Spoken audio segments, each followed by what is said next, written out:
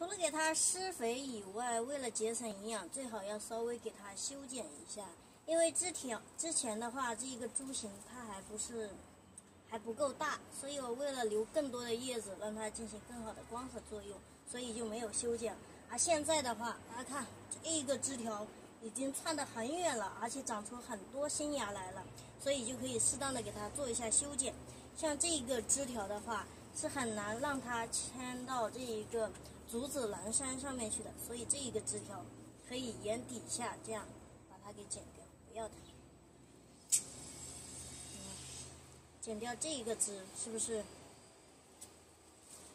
可以节省不少营养？而且的话，也不会像这样全部挤在一起，不够通风的话，它又容易滋生病虫害，得不偿失。所以这边也要稍微修剪一下。像这种的，它的这个枝条比较的瘦弱，然后的话，要想从它这上面发出这个壮芽来是有点难的，所以这种枝条也不要，这样剪掉。啊，像这里的话，大家看这个枝条的话，还有可能把它培养成比较壮的。就是这个新长出来，可以暂时先留着，看一下情况。好像这里的话，这也属于，啊，这种也属于这种盲枝。这种枝条的话，它既不会开花，也长不出这种壮的芽来。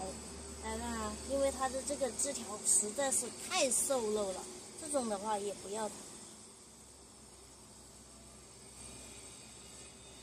所以我仔细观察了一下，我发现，像这一个枝条可能都不要它，这一边的这一段，就是这一边的这一个主要的这个枝，因为大家看它上面长出的这个芽也是非常非常的嫩，然后这一边底下的话也感觉不够健壮，而且是靠这一边的，因为我这一盆主要目的是爬南山嘛，所以靠这一边的。都可以不要，不要舍不得。这个月季长起来是贼快的，我从这里给它剪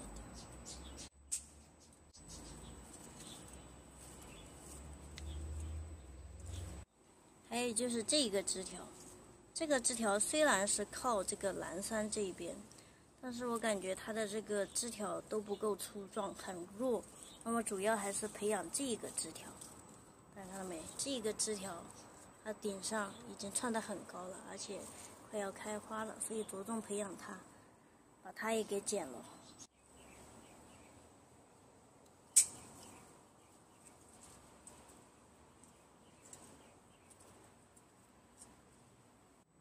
这样剪完是不是清爽多了？看到没？到时候长起来的话。也是很爆的，这个大油型生长速度还是很快的哦。